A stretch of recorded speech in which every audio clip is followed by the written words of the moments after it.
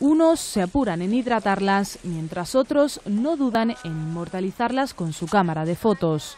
Son 40 tortugas marinas liberadas hoy por la Policía Marítima de Bali. Capturadas ilegalmente en Java, fueron interceptadas por las autoridades el pasado 16 de septiembre, cuando eran transportadas a Bali.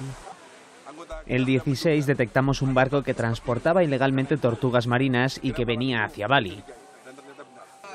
El tráfico de tortugas supone un delito en Indonesia que puede costar a sus infractores hasta cinco años de prisión y 10.000 dólares de multa.